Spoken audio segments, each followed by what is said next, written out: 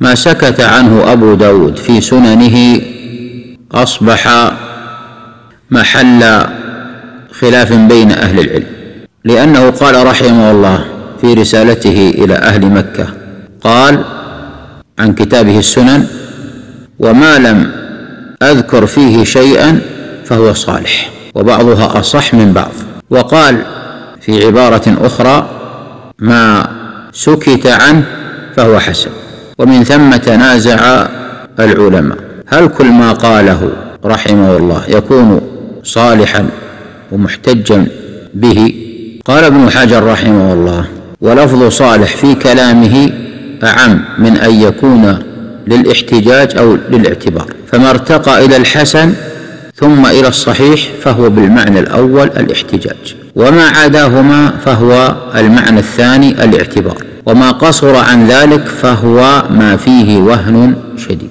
ومن ثم فإن الصالح عند أبي داود على ما فهم من كلام ابن حجر يشمل الحديث الضعيف الذي لم يشتد ضعفه.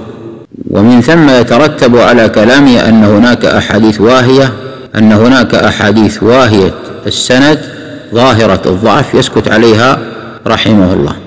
بينما ابن الصلاح في مقدمته يقول ما وجدناه في كتابه مذكورا مطلقا وليس في واحد من الصحيحين ولا نص على صحته أحد ممن يميز بين الصحيح والحسن. عرفنا بأنه من الحسن عند أبي داود وقد يكون في ذلك ما ليس بحسن عند غيره. وقد رد على ابن الصلاح رحمه الله رد عليه ابن كثير فتبين من هذا أن ما سكت عنه أبو داود لا يلزم أن يكون حديثا ثابتا.